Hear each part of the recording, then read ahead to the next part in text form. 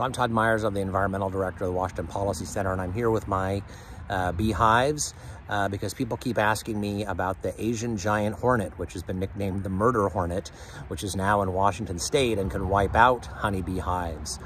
Uh, we think that the hornet came over on an agricultural shipment um, from Asia, and the first um, nest actually was found on Vancouver Island, but they have since spread um, across the border into Washington state.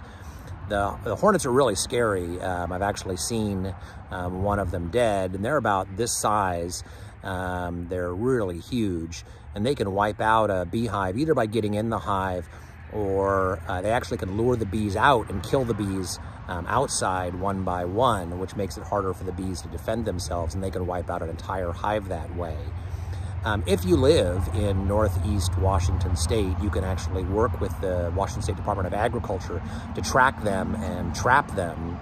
Um, if you live in um, Whatcom, Clallam, San Juan Island, uh, or over on the peninsula, Clallam and Jefferson County, um, that's where they're looking for them. They're very dangerous though the suit uh, that they wear to eradicate a nest is actually uh, rubber. They have a helmet with a fan in the top um, to protect them because the hornets can actually not only sting you, but also spit venom.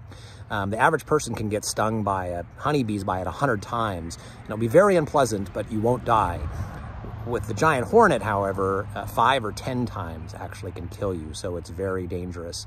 Um, so it is another example of an invasive and why we need to be careful about invasives.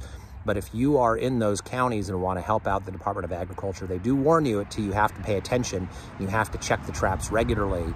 But if you live in those counties and want to help uh, eradicate the giant hornet, you can reach out to them directly and let them know.